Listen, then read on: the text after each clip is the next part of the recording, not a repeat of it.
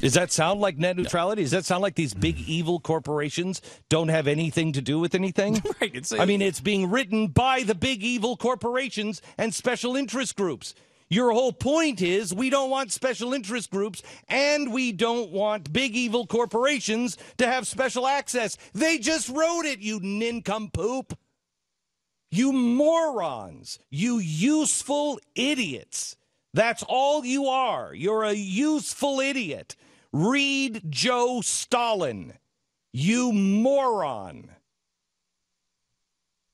Joe and you know why it's happening? It's happening because our our uh, elite institutions, our education, our higher learning, bull crap. Not even our higher learning.